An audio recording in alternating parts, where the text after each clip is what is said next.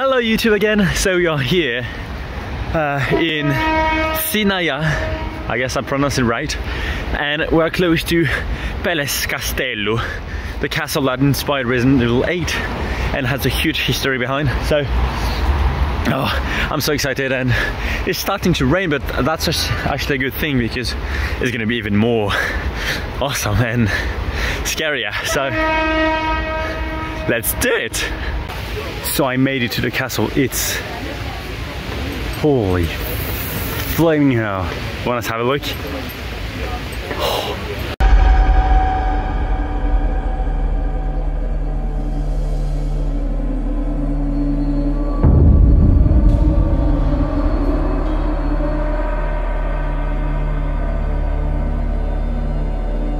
Okay, so we're inside and I guess it's time to have a little look with some scary music. Let's see.